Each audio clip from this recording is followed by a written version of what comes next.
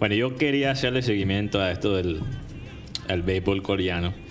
Eh, en efecto, me levanté a las cuatro y media para verlo aquí.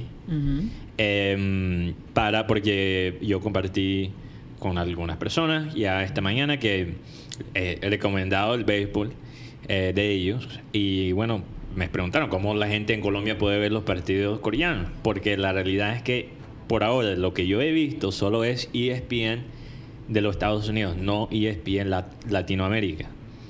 Pero sí hay una manera para ver los partidos. Pero la cosa, la vaina es que son en coreano. Mm, Pero si tú vas, tú vas, pero hay gente que se atreve. Además, el béisbol es el béisbol. Oye, y ahora estaba viendo, por ejemplo, en, C- en CNN.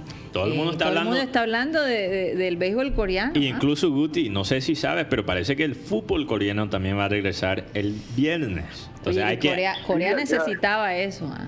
Corea estaba pasando por Corea- momentos difíciles. Corea del Sur. No. Corea del Sur. porque Económicamente ellos estaban teniendo su... No, no, no, lo opuesto. Esto es básicamente la acumulación de mucho progreso. Bueno, que es que lo, lo que pasa es que en, en Corea del Sur, como lo hablamos en algún momento, los ricos son bastante ricos y los pobres son bastante hay pobres. una diferencia Social económica bastante fuerte, entonces- bastante fuerte. Sí, exacto. Entonces, y los mismos coreanos se quejan de eso.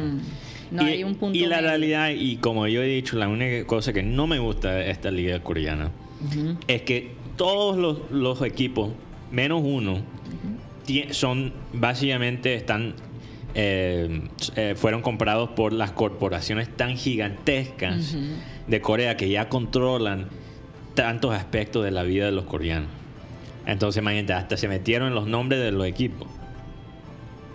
Bueno, Entonces, si bueno. van a poner la plata, ¿qué piensas? Sí, bueno, claro, pero hay, mucha- Ahora- hay muchas ahora, ¿qué empresas que ponen la plata y no. Pero ¿qué diferencia Barça hay? no se volvió. eh, eh, ¿Cuál es? Qatar FC. Sí, pero que, ok, está bien, pero ¿qué diferencia hay en Ah. tener una camiseta como con 50 promo- eh, eh, patrocinadores y que un equipo se llame... No, claro, la, la realidad quizás es que eso es una manera más honesta de, la de hacer la situación, porque No, y de- hay de- muchos y no clubes que tener están en la una mi- camisa llena Sí. de tanta publicidad. Bueno, bueno, quizás.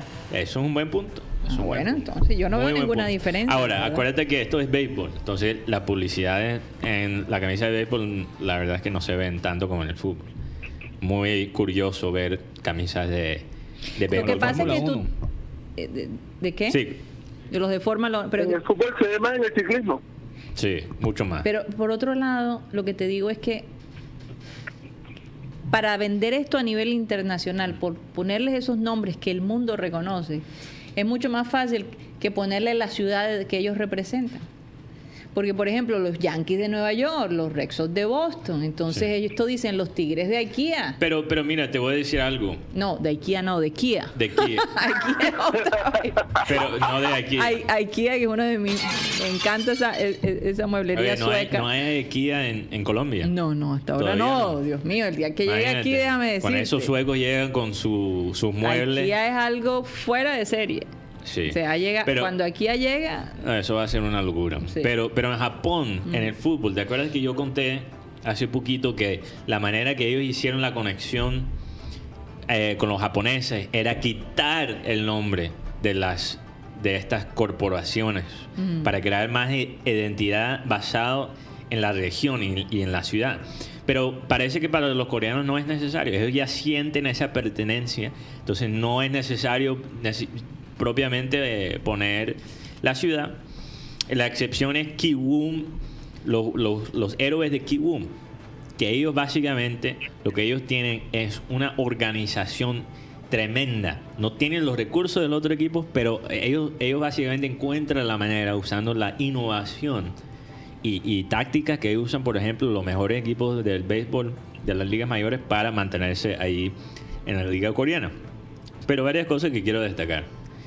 Eh, Julio Franco, un beisbolista para los que siguen los beisbolistas, los beisbolistas eh, caribeños, van a saber quién es Julio Franco. Jugó por muchos equipos eh, de la Liga Mayores en los años 80. Él, él es lo que le llaman en inglés un journeyman.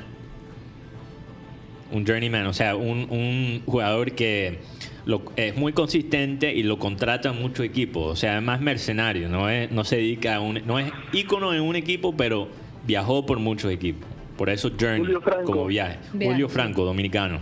Sí. Julio Franco jugó después, después de su carrera estrecha en la Liga Mayor, jugó Mm. muchos años Sí.